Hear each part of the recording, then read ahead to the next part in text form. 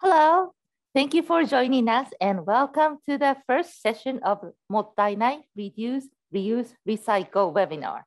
Our session today is called Edo's Eco Life for Today. I'm Hiromi Zepiri of the Japan Foundation Center for Global Partnership, CGP.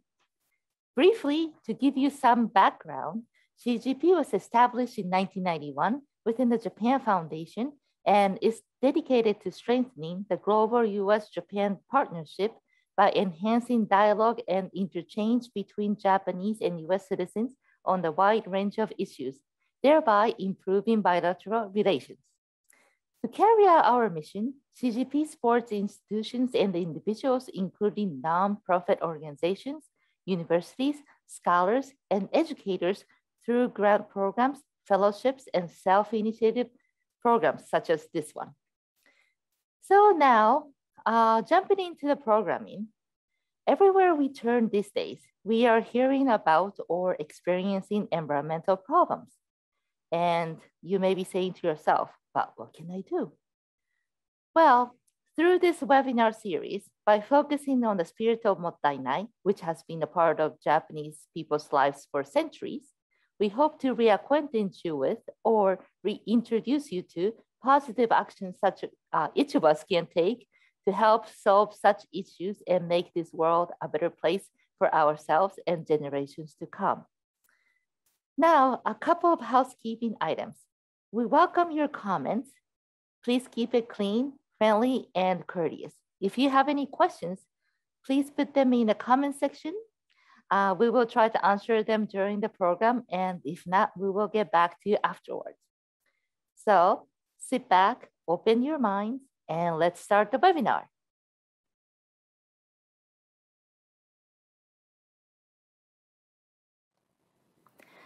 The Japanese concept of mottainai has multiple meanings.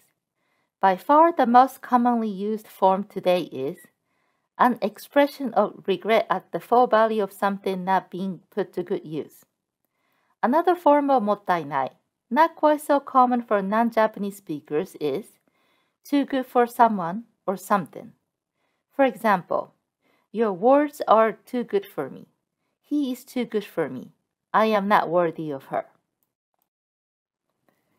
Based on my experience growing up in a Japanese speaking home, and then living in the United States for a number of years, I have observed that mottainai is not easily translated into English, but we could say, what a waste, or waste not, want not. In addition, in Japan, children are told not to leave a single grain of rice in their bowls. Such wastefulness is mottainai.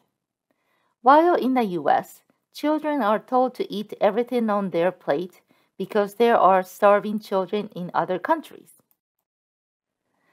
Ms. Wangari Maathai, an environmental activist from Kenya, was the first person in the environmental field awarded the Nobel Peace Prize. That was in 2004. In 2005, Miss Maathai visited Japan, where she was introduced to the concept of mottainai. Impressed with the idea, she incorporated it seamlessly into her environmental philosophy.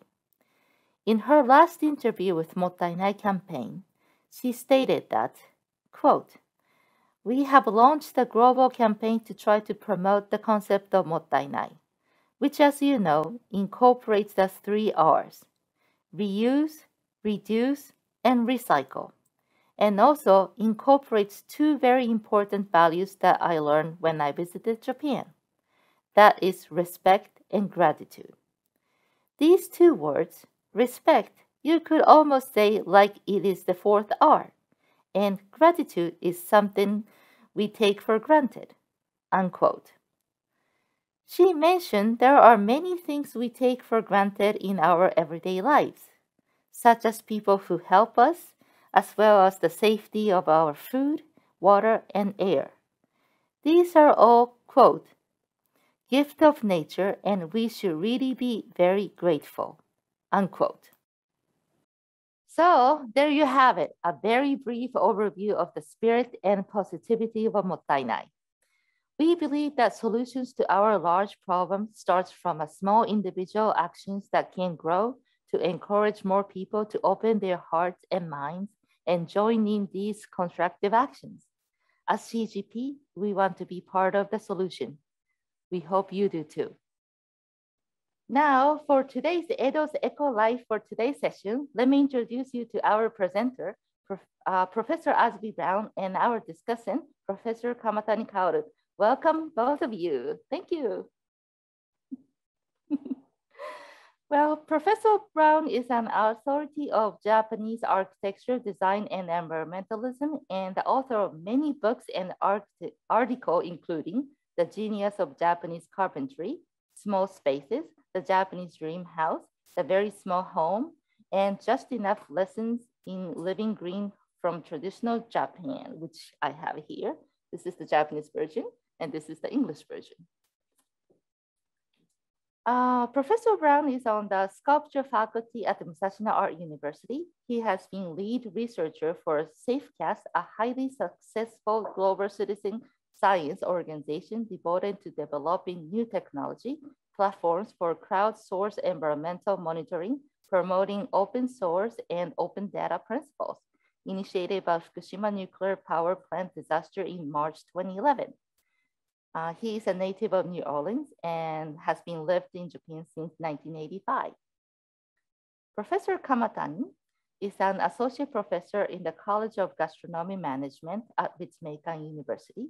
She has a PhD in Japanese history and her current uh, research interests are the history of Edo period, culinary and fishing activities, as well as analyzing the relationship between agri agricultural activity and climate change. Also, very important, we would like to give a special CGP thanks to our interpreter, translator, Dr. Mari Morimoto. So now let's start the Professor Brown's uh, presentation. Enjoy. Hello, my name is Azby Brown, and I'm speaking to you from Tokyo. I'm happy to be able to share some thinking about Mottainai and the Edo period of Japan and what it means for us today. I'll start sharing my slides now.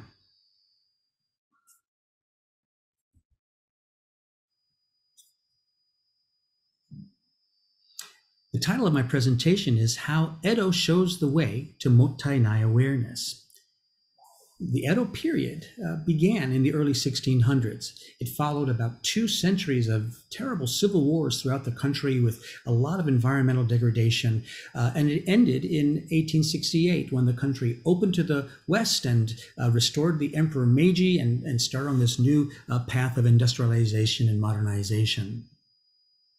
At the start of the Edo period, Japan was on the verge of environmental collapse uh, due to clear cutting the forest on a vast scale. This was, again, in connection with the wars that were being fought, building castles, needing to rebuild cities, uh, building navies, all sorts of, uh, you know, things they needed the lumber for.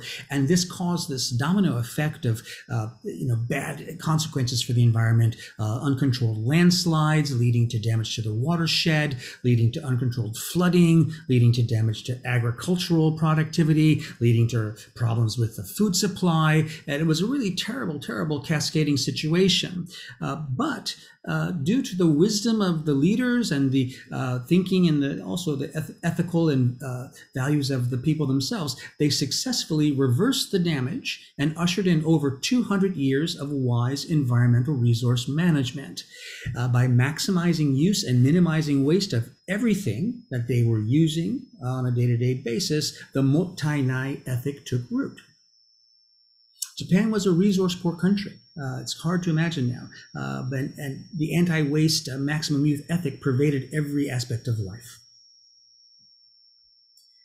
This is an example of uh, sort of the values that made this possible. Uh, this is a drawing of a well-known uh, stone water basin at Ryoanji Temple in Kyoto, and the the letters around the the, the rim at the top um, they all share this square character, which means mouth. And if you look at them written normally, they look like this, uh, and it's pronounced ware tada taru shiru, which we could translate as all I need to know is enough, or I only need to know what enough is or I'm only interested in enough. I only care about having enough. And of course, this means not just, you know, material goods, etc., but also sort of spiritual things like you know not wanting to have too much, not being too attached, etc. This was one of the value systems that uh, underpinned uh, Japan at the time and uh, shaped the culture and shaped the thinking of people and really prepared them for uh, mottainai thinking and uh, minimizing waste.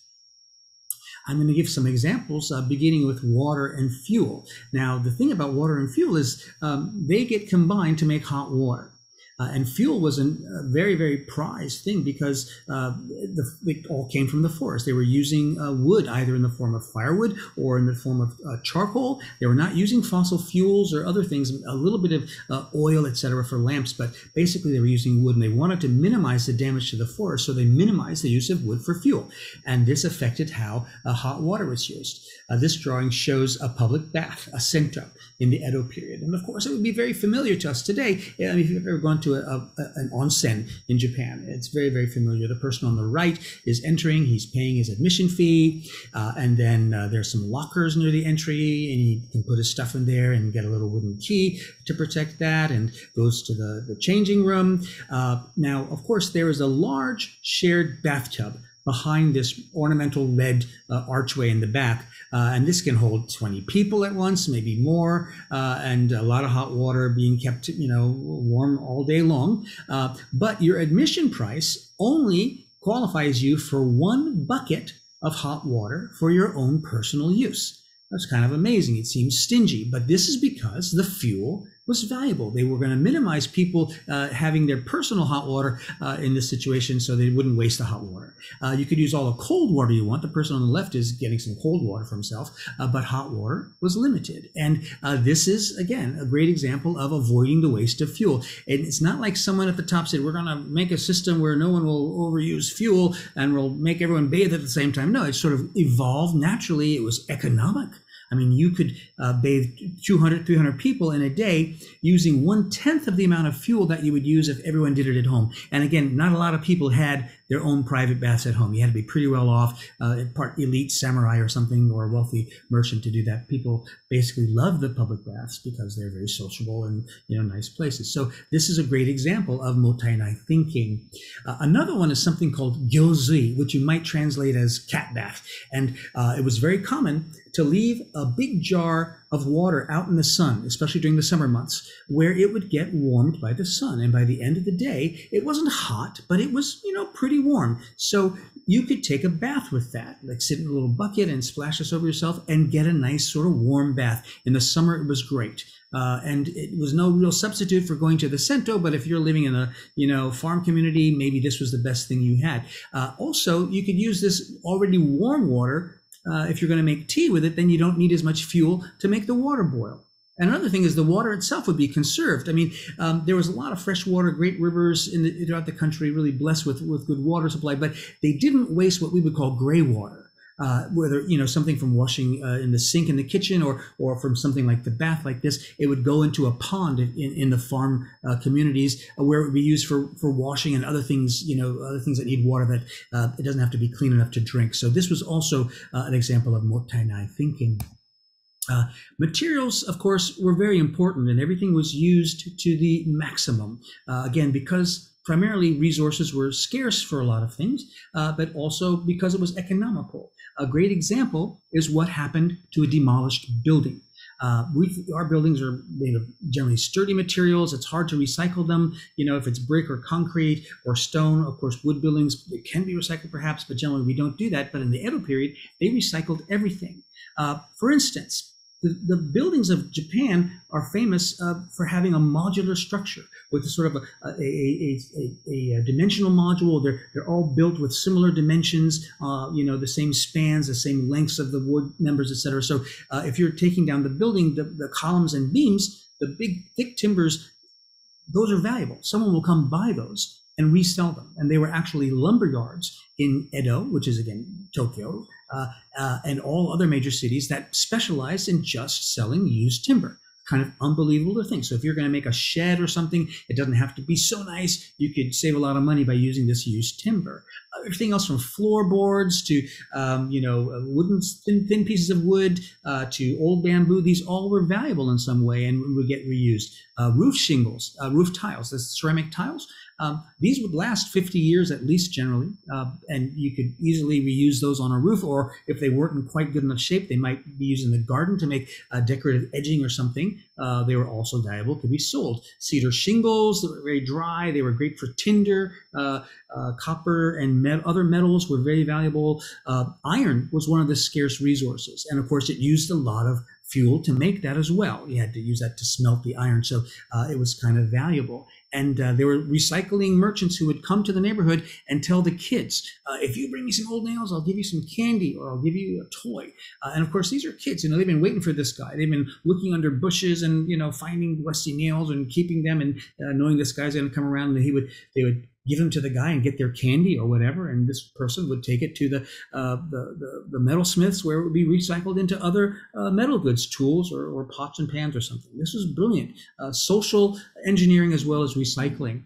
Uh, sliding doors, the fusuma, the shoji, also the tatami floor mats. These were all modular. They are generally a standard size, so they could generally instantly be reused in another house or another building. Uh, things like the foundation stones that the column stood on, these were had been selected because they were the right shape. Uh, so those would get reused easily, could be resold, and even the clay plaster from the walls would be reused, or you know it would be mixed in with new plaster because uh, it actually somehow had a good quality to make a better quality plaster, or you could just crumble it up and put it into the, the ground. Uh, and the thing is that when you demolished a building in Japan in the Edo period, basically there was nothing left. Uh, you, it was dirt. You could uh, build a new building, of course, but you can also make a garden the next day. Uh, this is a remarkable thing, and I think it's a principle that we would do well uh, to try to emulate in our way of building. And of course, this all comes down to this mottainai thinking. Uh, just about everything in life was uh, refurbished for longer use. There were itinerant merchants who would go around to neighborhoods. The person on the right here is fixing wooden clogs, geta, sandals. And often the, the straps would get worn out, and that's the first thing that needed to be repaired. And he could do that, or he could uh, resurface the, the soles, you know, sort of plane those off to make them flat again if they got worn down. Very, very common to have your, your wooden uh, geta sandals uh, refurbished uh, many times before you get ready to uh, get rid of them. Uh, the person on the left is refurbishing tobacco pipes. It's called kiseru. They have this long, sort of a, a reed tube that was used, that would get clogged or would get broken. So he could fix those things too. Uh, and uh, things like uh, materials such as rice straw are sort of a remarkable uh, example of full u- utilization of resources. Um, basically, rice, it's food, and it's grown to make white rice uh, you know, which is of course the most valuable rice at the time, uh, and could be used to pay your taxes, etc. As well, uh, people would eat brown rice, but basically, basically white rice was more valuable. Um, so, in the process of making the rice, uh, the first thing is when you when you strip it off of the, the stalk, um, it has a hull. It's called a momi, and a momigara, and uh, you could then just send this to the, the, the, field, to the, the garden as compost or fertilizer, or you could also burn it if you need to uh, for as part of your fuel supply. But it was useful for other things uh, as an abrasive to make scrubbers, uh, to make uh, weights or to make pillows, to fill pillows with this stuff. And in fact, this is still done today. So momigara was used. And then when this pillow or scrubbers or whatever are there worn out, then it becomes compost or fuel. It's going back to the agriculture supply or part of your fuel supply uh, and may be reused after that when it's ash. Uh, then you're left with brown rice. Uh, which has uh, the, the the bran, which is called Nuka, and this is also useful. I mean, they, it's uh, even used today when you make pickles uh, and it could be used for certain skincare and other things like that. Uh, and eventually, this would also become compost or fertilizer as well. Um, but the remarkable thing, of course, is the rice straw itself. Uh, again, this is a byproduct. You're growing your rice because it's a food, but the rice straw is really useful. And in fact, people made everything you can think of from that. From uh, footwear you know zori sandals to hats aprons you know floor mats bags rope uh, brushes roofing thatch uh, you name it they made this. And of course these were often handcrafts done at home uh, especially in the farming communities. And they were generally going to last about one season these were not that durable necessarily but when they're done then you could compost them or for use them for fertilizer uh, mulch or something like that or you could burn them for fuel. And the interesting thing about the rice straw is that it was high in potassium.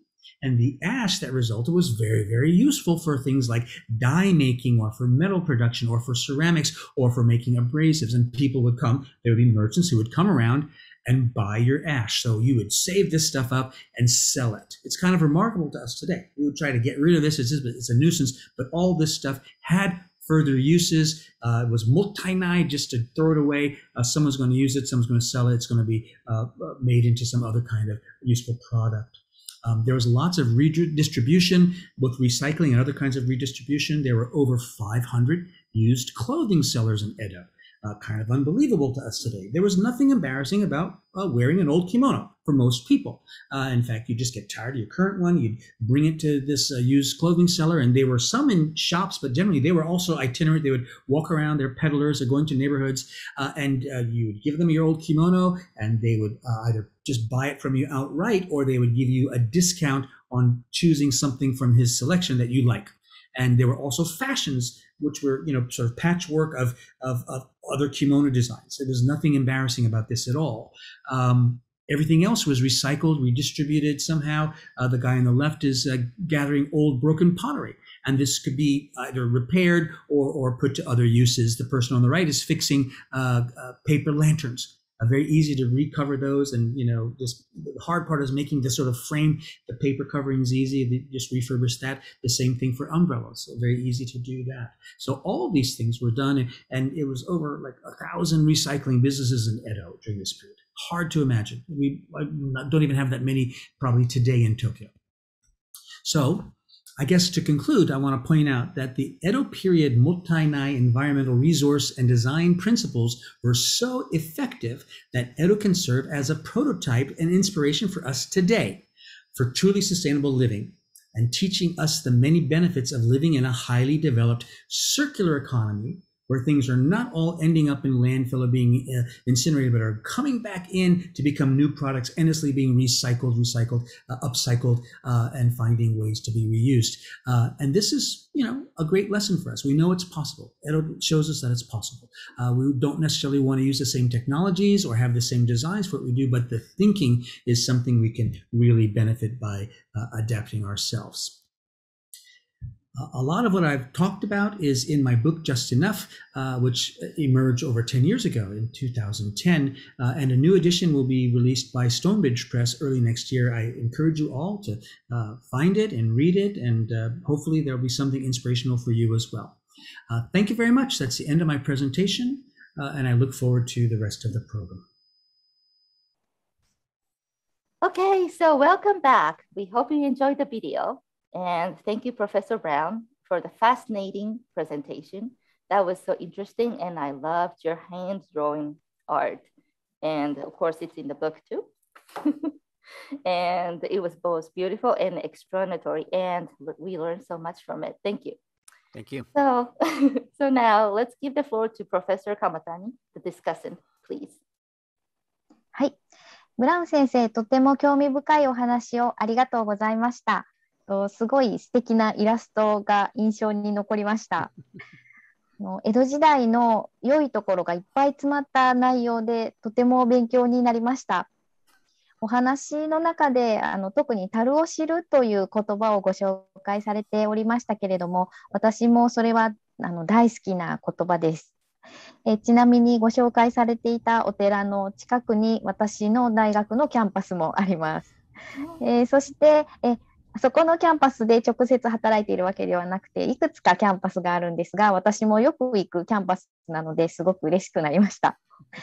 で、えー、まあ、あの、樽を知るという言葉はですね、まさにその今の、まあ、現実を満足することで見えてくることが多くあるっていうような内容にも関わるかと思いますし、まあ、それはその今日、まあ、テーマになっているようなあのまあ、江戸時代の、まあ、日本の、まあ、暮らしとか考え方っていうところにも共通するものが多いかと思います。で、えっと、今回そのお話の中で、まあ、あの米稲があのどういう形でたくさんあのいろいろなところで余すところなく使われていくっていうことや、まあ、それからあのリユースそして、まあ、リサイクルなどそういったことがもう考え尽くされてされていた循環社会という、まあ、江戸時代の良いところをあのたくさんご紹介いただいたと思うんですが、まあ、あの日本人としてこの日本のだいぶ昔の時代があの今こういったまあ現代社会の中でこう評価されてもったいないというまあ言葉の中であの伝えるべきことを表している場所地域だっていうことで再注目されているということについてあの日本人としても嬉しいですし日本の歴史学者としてもとても嬉しく思いました。ブラウン先生がこういったことに着目をされた時にはっと一番最初にこうもったいないっていう言葉でこの社会をあの見た時に一番こう今日お話しいただいたことも含めての中で一番衝撃を受けたのはどういうことだったのかなっていうのを教えていただきたいなっていうようなことを思いました。ありがとうございます。Uh, thank you very much uh, for your, your kind comments. It's homegoroshi expression that means you know uh, compliments enough to kill a person. Um, but i really appreciate your comments and, and because you're you're a specialist yourself and you're also uh, paying close attention to this. And uh, from my point of view my purpose was to communicate uh, to non-japanese. And i assumed from the beginning that most japanese people knew all about it already because I had had many conversations. Mm-hmm. Uh, people I met would talk about Edo period, recycling, some aspects of environment. So I thought most Japanese people knew a lot about it. Mm-hmm. Uh, and I was very surprised that, in fact, that wasn't the case. So I was glad to be able to make a Japanese edition. If I think about what I learned about how things were done uh, during the Edo period, uh, there was just surprises everywhere. But the biggest surprise was how complete the system was.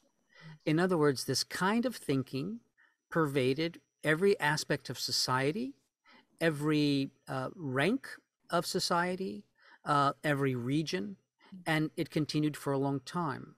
Uh, and I, I, think for me, the the key to my understanding was learning that things were connected, that how the forests were being managed was very connected to the watershed, to rivers, to the water problem. Uh, the watershed, the water issues were connected to the agriculture. Um, the agriculture was, of course, connected to other resources, uh, productivity, population, uh, waste, uh, and what do they do with the waste. So to understand that this was all connected, and and somehow, although the society was not scientific in the way that we think of Western science, there was a mm. very good understanding of how these things are connected. Uh, and that's what I tried to to bring across in the book and in in uh, my other thinking about this. そうですね。あの今あのおっしゃっていただいたように、そのすべてのことがこうつながっていて、でそれをこうここがこうなればここがこうなるといったような形にこうその一つの部分、例えば農業が良ければいい漁業が良ければいい林業が良ければいいっていうわけではなくてこう全てのことがつながるような形でその持続可能な社会が作られていたっていうところをあの評価していただいたのかなというふうにあの受け取りました。で、えっと、そのことについてはやはりあのこう私たちあの私のような江戸時代をあの研究してきた人間からしてみればそのそれが特にそのまあ、素晴らしいことというより、まあ、江戸時代の在り方としてこう連綿とこう社会が続いていくための、まあ、当然の流れだと思っていたんですがそれをこうサスティナブルな社会だっていう形で再評価できるっていうことはやはりこう今のその世界やまあ日本が置かれている状況っていうものとすごく関わってくるのかなと思います。あの現代社会が置かれている状況がその何をどんなヒントを必要なのかっていうことがあの常に社会には課題があってそれをこう昔の時代に、まあ、目が向けられたそういう理由だっていうふうに思います。でそう考えた時にその、えっと、日本人自体よりもあの世界の中でそういうふうに思っててあの注目してもらえるっていうことは素晴らしいと思いますがもしかしたら日本日本人はそんなに思っていないのかもしれないんですが例えば私がこれから江戸時代を研究していく上でそういったことを日本の人たちにどうやってアピールしたらいいのかなっていうようなことを思うんですが、先生はいかが思います思われますか？Uh, that's a tough question. And, and actually, this is one of the questions that is asked the most often. What can we do now? What can we learn? What are the lessons we can learn? Uh, and I believe that, well, it's not about changing back to Edo period technology or social structure or economy or any of that necessarily. It's about the way of thinking and the way of understanding the problems. And again, I believe this has to come through understanding how things are connected. Uh, one thing that I really feel very strongly from you know reading about and learning about people of the Edo period, and I also felt this when I was researching with uh, uh, Nishioka Tsunekazu, the Miyadaiku, uh, was the sense of time and responsibility, both to the future and to the past that we are here what we do now is is going to be preparing the, the, the conditions for the people who come after us. And i felt in the case of edo uh, it, it was not necessarily they didn't believe it was endless but they really believed that this would continue. The purpose we, we use the word junkan or, or, or, or circular or or sustainable but they really believed that it they needed to find a way to let it continue indefinitely uh, with as much benefit for as many people as possible. So, this is a value. Uh, and our current economic thinking, our political thinking is so short range. Really, a few years, uh, businesses, they're thinking of the next quarter. So, this sense of think about the next generations, think about 100 years in the future, think about 500 years in the future. And in order to understand that, you need to know what happened 100 years before, 200 years before, 500 years before for. So this, if there was some way to help people grasp this uh, way of thinking, that would be for me the best thing. And there's also some, I would say, strange things or things that may be contradictory. Um, I mean, overall, I think the Japanese society of the time was, let's say, trying to minimize overconsumption. It was using things very carefully. It was not focused overall on gathering wealth and making money. It was more about many people having a better quality of life. And I think the governance of the period, uh, we know, uh, I think Tanaka Yuko sensei has written about Kumazawa Banzan and, and his thinking that, oh, yeah, the, the, this Confucian thinking, again, the responsibility was to help everybody. And I think many of the leaders of the time uh, really believed that. But at the same time, we have this highly consumer fashion oriented merchant class, uh, which, you know, if they could, they would have as much as they could and they would flaunt their wealth and they would probably be a little more wasteful. And we know some of them were. Uh, so there was this tension between this desire to be wealthy to gain status by consumption.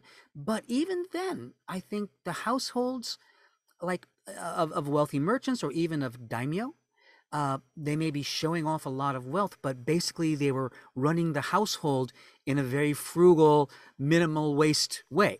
And so this is a strange contradiction, I think, uh, that that I'm not really sure I understand. Maybe Kamatani Sensei, maybe you you have thought about this, or do you have any ideas about that?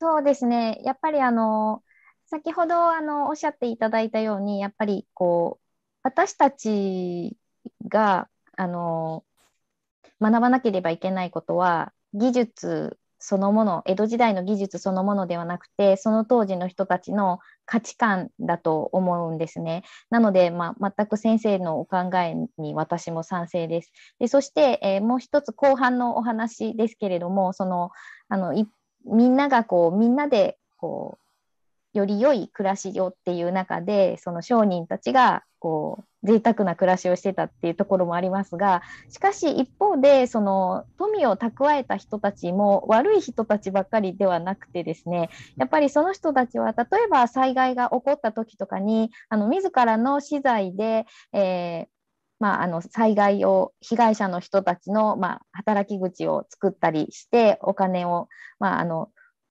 富をこう分か分かつことであの得を得るというかそういうような考え方っていうのも一方ありました。またあのその一方であのそういうふうなことをしないと結構推しあの百姓たちに押し込みをあの襲われたりとかですね、そういうようなこともあったりするので、まあ、あの意図的にそういうふうにしなければいけなかったっていうところもありました。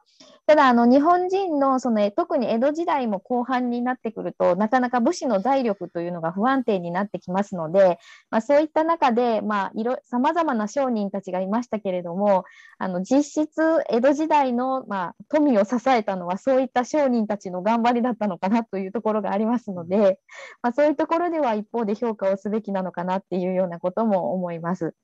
うん。面白いですね。I'm sorry. It's very interesting. Um, very interesting. And you know, you mentioned the the changing condition of the samurai towards the end of the Edo period. And this is to me also fascinating. That here's the very pyramidal pyramid society with the samurai at the top. And I think some of our audience know uh, the next were the farmers, next higher in status, not necessarily wealth. And then the merchants, or the, the craftspeople, and then the merchants were the lowest, but they managed to get most of the money. And, and the samurai, especially the middle or the lower ones, were really having a hard time economically because their income was fixed based on what their grandfather got, perhaps. So you asked before what sort of things were very surprising to me when I learned that most, many, if not most, samurai households in Edo ended up growing their own food. They had their own uh, small farm plots on their property in the city.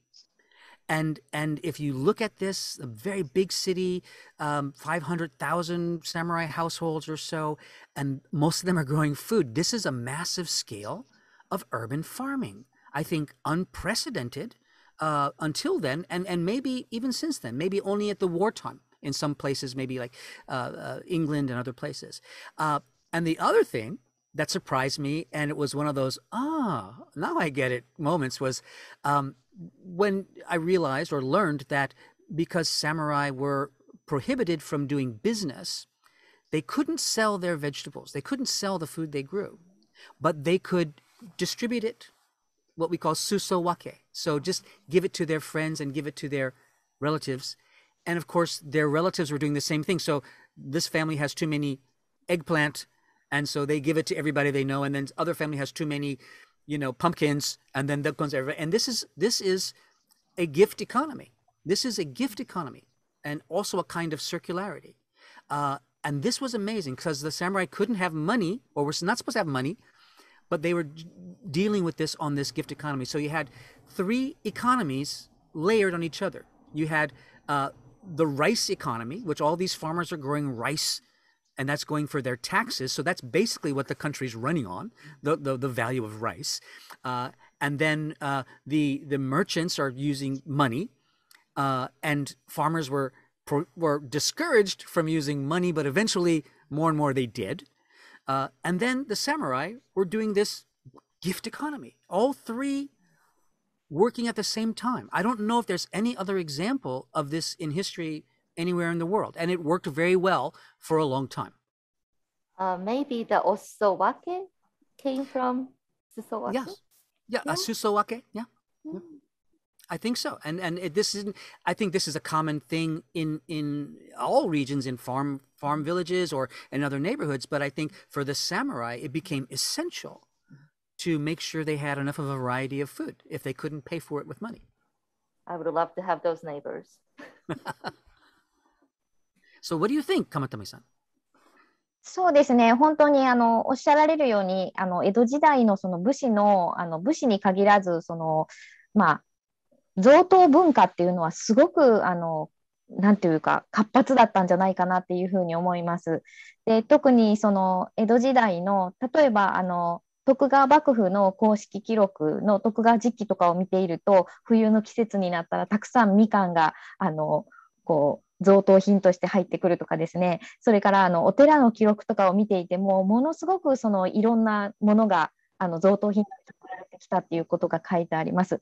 そしてあの江戸時代その武士館であのいろいろなものを贈答品として渡す。例えばあの、えっと、お肉をあの塩漬けにしたようなお肉とかそれからあの鶴とかやっぱりめでたいものとか性のつくものっていう風なものをあの送り合ったりするっていう文化っていうのがあってあとなんかそういうようなことを見ているとあのすごく華やかなんですけれどもその一方でその武士同士でお祝いとかでお渡したりするものもあの中古品を買ったりとかして渡したりとか、あのもらったものもすぐ売って、あのそれをあのなんていうかリユースするっていうようなことをやっていて、なかなか節約しながらあの物を送ったりしてたんだなっていうふうなことが分かります。あのちなみにあの江戸時代の中頃からあるあの日本のことわざであの武士は食わねど高用事という、えー、ことわざがあります。これは武士は食べていないんだけれども、あの、まあ、用事っていうのはあの歯ブラシのようなものですね。食べていないけれども、満腹になったふりをして、爪楊枝をこう、するっていう、そういうあのことわざがあります。で、これはきっとその、まあ、武士は下級の武士であったとしても、まあ、プライドとしてはお腹を空いているっていうふうなことは見せれないっていうような、まあ、ただそういうようなことがあのことわざとして流行ったのはあの当時まあ、あの武士を少しこうバカにする、まあ、商人たちとか町の人たちというか、まあ、そういうようなこともあったのかななんていうようなことを思ったりします。Very interesting. Yeah, I, I really think uh, it's fascinating when we think of you know when we learn more about the reality of, of, of life and what people are actually doing to get by and, and the situation of samurai and it you know to continue on this one thing that struck me was the importance of education uh, and the importance of literacy and reading and publishing. And when I was learning about uh, how the Bushi, how the samurai were doing their farming, well, I know that there were lots of manuals, books about farming to tell you how to grow things, how to grow the best pumpkins, how to grow the best everything, and and that Bushi were were educated people. They approached farming as as educated people, uh, even a little bit scientifically and also competitively. I know there was a lot of competition. My, you know, kabocha are better than yours, and uh, there was an interesting thing I learned. Uh, I spent a lot of time in Kanazawa, uh, so that was the Kaga uh, domain. And are you familiar with something called the Kaga Kebari for fishing? Kaga Kebari. Mm-hmm. These are fish hooks uh, which are still made today, and they're beautiful. Uh, they're the hook is often has gold leaf, and they're made to look like an insect. And the head is made of lacquer with gold and beautiful feathers and silk silk threads to make it look like insects. This culture emerged during the Edo period because the Kaga Han, the Kaga domain, told all of its samurai from now on you can't buy fish, you have to catch your own fish. So you just imagine all these samurai saying, okay. And they're becoming beautiful artisans to make the most beautiful fish hook, and they're all out there in the river, you know, doing their fishing with these beautiful fish hooks. And these still exist today. Uh, at, at, during the 20th century, it was always done by men, but during the 20th century, during the war, women started to do it, and they're still being made in Kanazawa now uh, by a few places. So this the samurai attitude that you know, catching your own fish or growing your own food, this is not demeaning. This doesn't make you a low person. Uh, this is also something you can be proud of, and if you approach it, you know, with your with your education. Let me ask one quick question to the both professors um, at this point. Uh, what is your definition of mottainai, and how does your knowledge of the Edo philosophy and mentality of Mottainai impact your everyday life since we learn so much about Edo life right now? Hmm. Um, it's interesting because when I first came to Japan, I did a homestay with a family in Tokyo. and uh, I remember that the mother uh, kept all of the wrapping paper after she went shopping. She would flatten out the paper and folded and kept it under the sink. And I thought, eh, you know, why, why bother? I'm American, right? Why bother? Just throw it away, you know? And I said, why do you keep that? And she said, oh, I think she actually used the word mottainai. Uh, this, because I can use it for many things. To throw it away would be mottainai. My And grandmother would- used to do that too. Really? Yeah. Yes. But I would just hear this expression, mottainai, mottainai. It's a waste. It's a waste. It's a waste. Don't waste. Don't waste. Don't waste. And and um, I heard this in common use before it became popularized. Uh, you know, uh, later as a kind of a general principle by like Wangari uh, Maathai-san, etc. Um, for me, you know, it's connected with uh, again the sense of respect and responsibility uh, and appreciation and and as i you know mentioned in in my presentation uh, you know a little bit talking about the the taru oshiru you know these were ethical values that the human being is not the most important thing that we really are part of something bigger and we need to do the best we can to to help every living thing to help every person to help everything. And part of that is not taking too much. So this this attitude is just pervasive. The the the interesting thing to me is that it still exists. It's still very common. We find it every day somewhere. At the same time with this similar contradiction that we see tremendous waste in contemporary japan as well. So um, i think for me mottainai is simply personally uh, because I like to make things, you know, I'm making sculpture or, or making designs or, or making furniture, and I'm always finding things like a old broken piece of wood, you know, and thinking, huh, I can use this for something. you know, it'll be a waste to throw this away. This is actually from a, a window frame, it's made of oak. And I think, oh yeah, I can use that for something. That would be useful for something. I can reuse that somehow. And I sort of have that just inner uh, compulsion to, to think that way and to find those things. So uh, for me, mottainai means, ah, there's another use. I can find a way to reuse that thing that everyone else thinks is just worthless. えっと、そうですね。私にとっての、その、もったいないっていう言葉を聞いたときに、やっぱり、もったいないっていうのが、何が一番こう、もったいないことだなっていうふうに思うかっていうと、あの、深く理解する前に諦めてしまうことっていうのが一番もったいないなっていうふうに思っているんですね。まあ、あの自分がやってるような学問だけではなくて人間関係とか物の向き合い方とか仕事への向き合い方とかダメだっていうふうに諦めるのは簡単なんですが深く理解する時間とか労力とかを惜しまなければ必ず何かを得ることができると思うんです。ただ今は世界中に物が溢れていて簡単に捨てても手に入ったりとかまあ、例えば何か食べたいと思ったら、すぐ、まあ、買えるとか、まあ、家に届けに来てくれるとか、すごく便利になってきて、その面倒な方法をすっ飛ばしても手に入るっていう、今はそういう時代だと思うんですね。で、人間関係にしても面倒なことがあれば、まあ、すぐにネットでつながっているものを切れたりとかっていうこともする人もいます。でも、時間をかけて物やまあ、自分が買ったものを手に入れたものとか自分が出会っている人たちと時間をかけてゆっくり向き合うっていうことはとっても人生の財産になると思いますしそれを経験しないことはとってももったいないと思うんですね。で江戸時代はその人に会うこととか欲しいものを手に入れることっていうのもあと行きたい場所に行くっていうのも今よりも簡単なことではない時代だったと思うんです。でその分こう手に入れたものにじっくり向き合って、まあ、使いづらくなれば工夫をしてまた使い直し作り直したりとか工夫をしたりするっていうことを惜しまなかったと思います。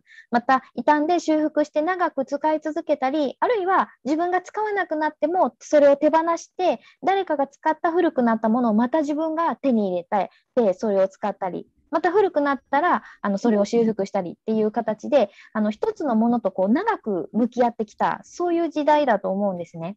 で、江戸時代の人々はそうやって、まあ、いろいろなものと向き合ってきたと思うんです。で、そういうような江戸時代の暮らし方っていうのは、あの、物を大切にすることの大切さとか、手に入れたものを長く使うとか、工夫して使うとか、人とか物とかをそのじっくり向き合ったりあといらなくなったものを誰かとシェアをするとかたくさんの教えを今の私たちにこう伝えてくれているんじゃないかなっていうふうに思います。I really like that. Um, and I, I, I feel a lot the same way. Um, it gives us an opportunity to think, to, to reflect on what's important, uh, where things come from, uh, where they're going. I mean, everything around us has a story. You know, if it's my computer or my chair, the things it's made of came from somewhere. Somebody made it. You know, somebody brought it. Uh, we're using it. Uh, and all of these things are, I think, we should pay attention to. Where did it come from? Where's it going? And what does it mean to, to me? Uh, and that includes do I need it? Can I do without it? Uh, and, and we're always seeking, looking for things that are really meaningful for us.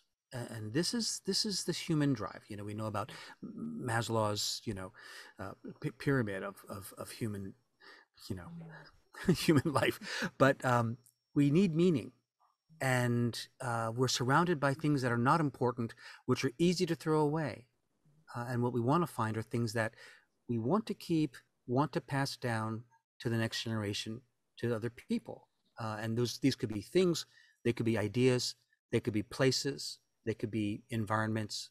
Uh, there could be a lot of things. So I, I really, I really agree. It's about uh, taking a minute to to think about, you know, who we are.